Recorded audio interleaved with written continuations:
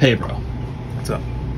I come from a long line of elite warriors known as Vikings. You probably have heard of them from thousands of years ago. I'm trying to get in touch with my heritage. What do you got for me? What's what's up with this mead stuff? Cool. So just like your uh, Viking ancestors, mead is a beverage that goes back thousands of years, and it's considered by many to be the world's oldest alcoholic beverage.